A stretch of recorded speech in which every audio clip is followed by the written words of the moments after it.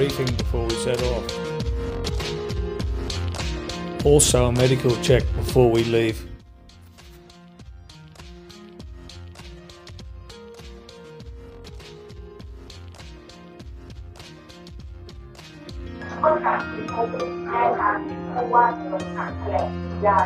Uh, there's only one, one small section which is between Chamber Manor, Dublin and but we're not we're not in a rush. We've got plenty of time. Uh, you know, just enjoy. Hi there. okay, Mark. All right, looking happy. One, two, Come on, three.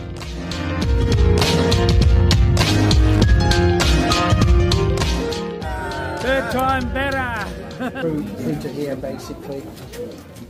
Basically given given to us by the uh, US Air Force. The US Air Force guys brought these over. They do uh, very strong. You know, give give the uh, boys as much protection as they needed, um, and it's, it's quite light really. Um, to chamber three, simply because of the conditions. Um, and when you're carrying these, you'll understand เขาจะเริ่มดำน้ำตรงนี้แหละเพราะว่าด้านน้ำเนี่ยดันจากข้างในมาถึงตรงนี้น้ำตัวเนี้ยจากทางทิศเหนือไล่น้องเข้าไป ช่วงแรกนี่ไม่มีน้ำมาแบ่งพวกสี่สี่คนที่เขาติดอยู่ข้างในด้วยก่อนที่เขาทำไอ้จอนวาเดนคิดว่าต้องเชิญคุณหมอแล้วก็ลิซ่าแฮร์ริสมาเดินทางมาเพื่อ water came through from the south. Once it joined, that's when the water came out. Boys were. The boys are down here, which is uh, 0.3 kilometres from from the dive start point here. Yeah. So um, that's that's very quickly what happened.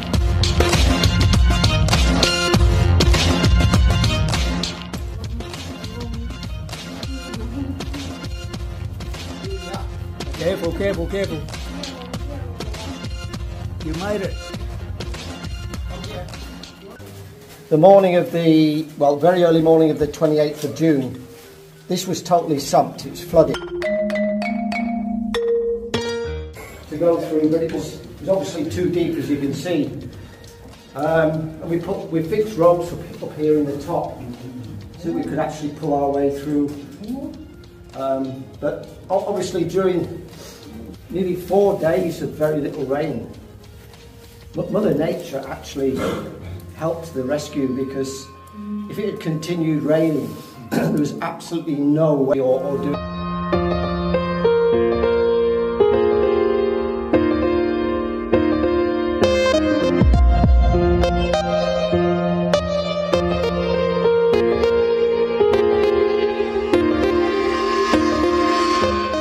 Meters. But the water, like a washing machine, Uh, yeah. Exit. The exit is actually under there. all right. Yeah, yeah, yeah. Yeah.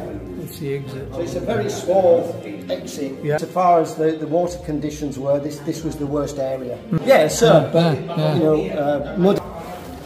You may want a photograph of all this, but this or high line or whatever you want to call it.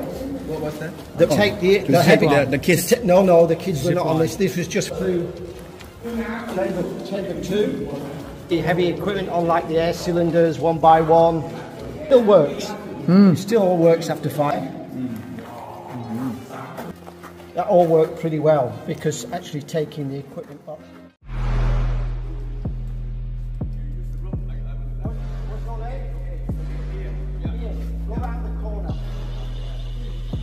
it's round the corner.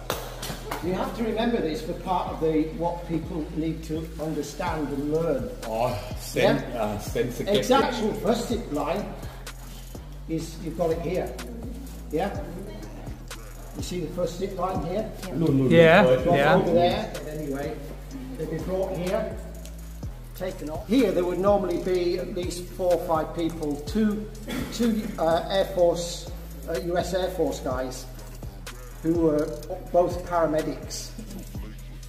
Yes, the boys were well looked after from chamber three all the way out. They were checked regularly for temperature, make sure they're not um, waking up.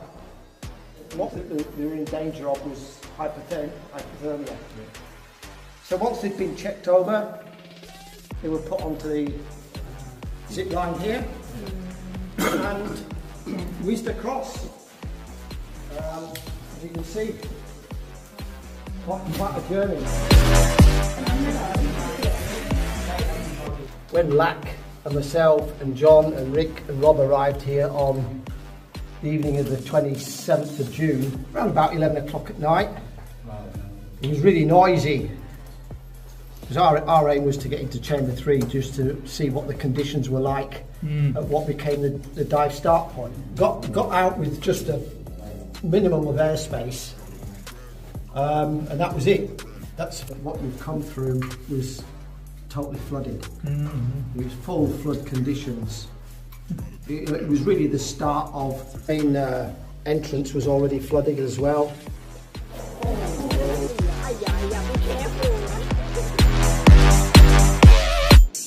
Electric cables and things here from the rescue, I guess. Quite a bit of it.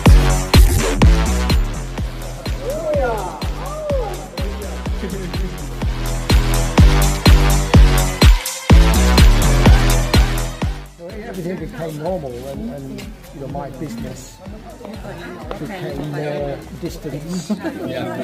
You know, we, we have you know with Zoom and my